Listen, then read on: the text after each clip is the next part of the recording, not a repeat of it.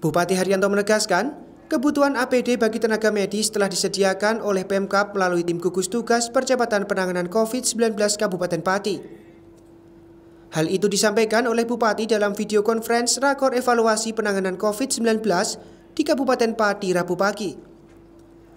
Bupati mengatakan, sudah tersedia alat rapid test sejumlah 1.500 pcs, juga APD untuk penanganan COVID-19 ada 4.670 pcs, yang dibagikan ke seluruh puskesmas juga rumah sakit di Kabupaten Pati. Bupati Haryanto mengatakan, TNI Polri menjadi garda terdepan keamanan masyarakat. Maka untuk menghadapi wabah COVID-19, tenaga medis menjadi garda terdepan bidang kesehatan. Pihaknya menegaskan, tidak mau mendengar lagi ada keluhan dari puskesmas dengan alasan tidak ada APD. Jika kurang, bisa berkomunikasi ke Dinas Kesehatan setempat.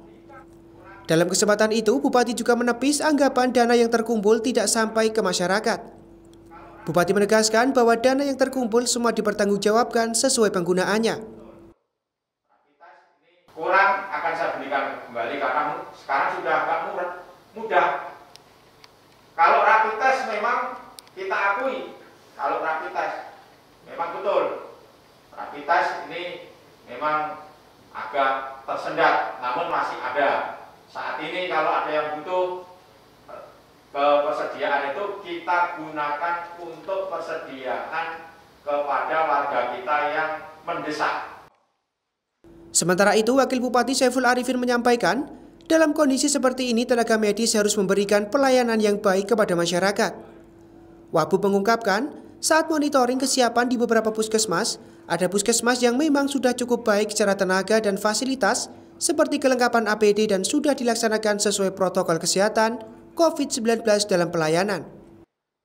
Saya sempat memang uh, ke beberapa puskesmas dan memang tentunya ini ada beberapa puskesmas yang sudah cukup baik, sudah siap dengan uh, tenaga medis dan lain sebagainya, dengan tenaga medis dan memakai APD tentunya.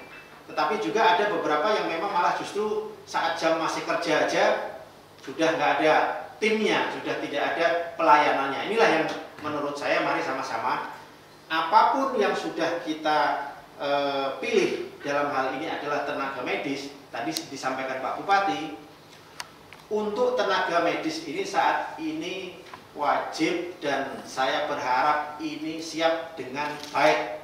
Ya, ini risiko kita.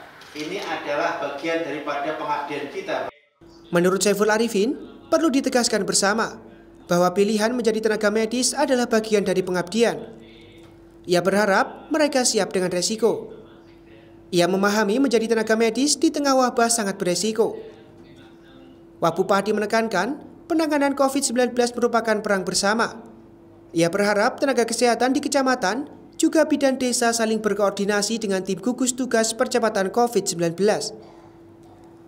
Tim Liputan Cahaya TV